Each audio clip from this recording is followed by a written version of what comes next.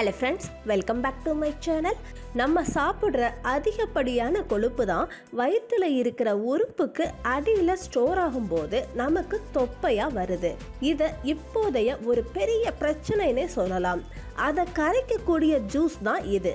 இதை குடிச்சிங்கன்னா மூணே நாளில் தொப்பை கரைய ஆரம்பிக்குது. வாங்க எப்படி பண்ணுறதுன்னு பார்க்கலாம். அதுக்கு முன்னாடி சேனலை சப்ஸ்கிரைப் பண்ணாதவங்க சப்ஸ்கிரைப் பண்ணிக்கோங்க. தண்ணியை நல்லா சூடு பண்ணிக்கோங்க. இதில் ஒரு இன்ச் அளவு இஞ்சியை தட்டியோ இல்லை துருவியோ இதில் போடணும். இஞ்சி சாறு உங்கள் உடலில் இருக்கிற மெட்டபாலிசத்தை வேகப்படுத்தும். உடலில் இருக்கிற கொழுப்பும் வேகமாக குறைய ஆரம்பிக்கும். இப்போ தட்டி போட்ட இஞ்சி கொதிக்க ஆரம்பிச்சிருச்சு. இரநூறு மில்லி தண்ணி இதை நூறு மில்லி ஆகிற வரைய வேக விடணும். கொதிக்க ஆரம்பித்த உடனே அடுப்பை சிம்ல வச்சிருங்க. பாதியாக குறையிற வரைக்கும் வெயிட் பண்ணுங்க. இப்போ இதில் நல்லா கொதிச்சிருச்சு.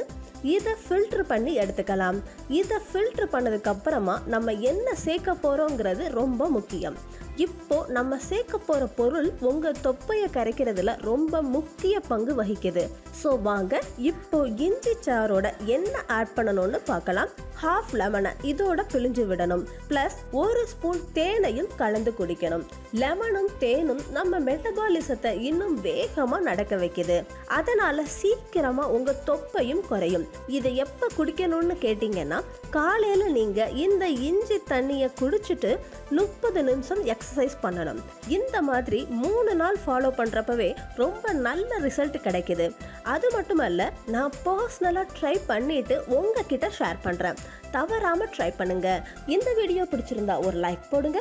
உங்கள் ஃப்ரெண்ட்ஸ் மற்றும் ஃபேமிலி மெம்பர்ஸ் எல்லாருக்குமே ஷேர் பண்ணுங்க. அவங்களுக்கும் நல்ல ரிசல்ட் கிடைக்கும். உங்கள் அபிப்பிராயத்தை எனக்கு கமெண்ட் பாக்ஸில் சொல்கிறதுக்கு மட்டும் மறந்துடாதீங்க. By bye friends thank you